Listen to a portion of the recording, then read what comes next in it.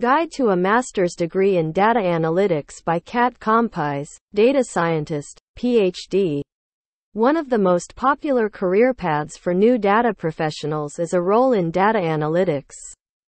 This booming profession is of growing importance in industries of all types, from government agencies to health insurance companies to mass market retailers, making it an especially promising area of big data to choose as a concentration. So what do data analysts do? Put simply, data analysts are the collectors and preliminary processors of all incoming datasets a company captures. This can involve storing all captured data, using statistical models to analyze this data, and translating the findings from this data to company leadership. This is inarguably a vitally important role for any business that is looking to maximize on data driven insights to guide their practices. With the potential to impact strategic decisions related to marketing, operations, branding, and more. In short, data analysts are indispensable to any teams relying on big data. The first step toward pursuing a career in data analytics is obtaining your master's degree. This is for all intents and purposes a prerequisite to enter the field in a competitive position. Instantly asserting that you have the skills and insights needed to handle a data scientist's complex responsibilities. Most students who pursue masters in data analytics degrees come from a background in computer science, calculus, or statistics, though there is no formal requirement for your bachelor's degree. However, it is crucial to build fluency in a programming language such as Python or Java as well as core competencies in calculus and advanced mathematics before taking on the advanced coursework of a master's program. If you are ready to take the next steps toward pursuing a master's degree in data analytics and are specifically interested in in-person educational opportunities, this guide will tell you everything you need to know about how to choose the right program for you.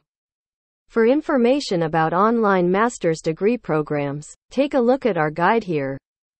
In this guide Step 1 select a career trajectory Step 2 research location and housing availability Step 3 compare costs with online options Step 4 determine timeline Step 5 analyze curriculum and Admissions process Step 6 Review schools offering a Master's in Data Analytics Steps to choosing an on-campus Master's in Data Analytics program Choosing an on-campus Master's degree in Data Analytics isn't drastically different from an online program. For most programs, you'll be expected to have a fundamental understanding of statistics, at least undergraduate level knowledge and likely need to have some experience with SQL along with other analytical tools, e.g., SPSS, SAS, PowerBI. Granted, certain master's degree in data analytics programs may introduce you to analytical software that is commonly used within the business world. Moreover, depending on how employers classify their data analytics employees, Larger enterprises and government entities may have data analyst I, 2, 3 designations.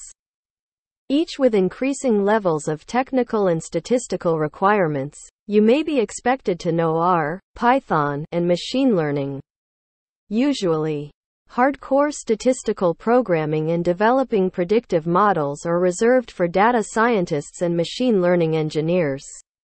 Nonetheless, Analytics degrees at the master's level are increasingly conflating data science and data analytics. Data scientists are indeed analysts, but they possess an in-depth knowledge of math, statistics, a great deal of programming knowledge and application, as well as business domain expertise.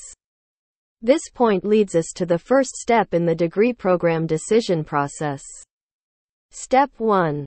Select a career trajectory as your ideal day toiling away with analyzing a specific business problem, developing a hypothesis, data collection, cleaning, pre-processing, exploratory data analysis, and building predictive analytics models? Do you enjoy math, statistics, and codifying the solution to a specific business problem by translating it into R or Python? Note, For predictive models that will be launched into a larger software production framework, it's likely you'll be using Python, for now.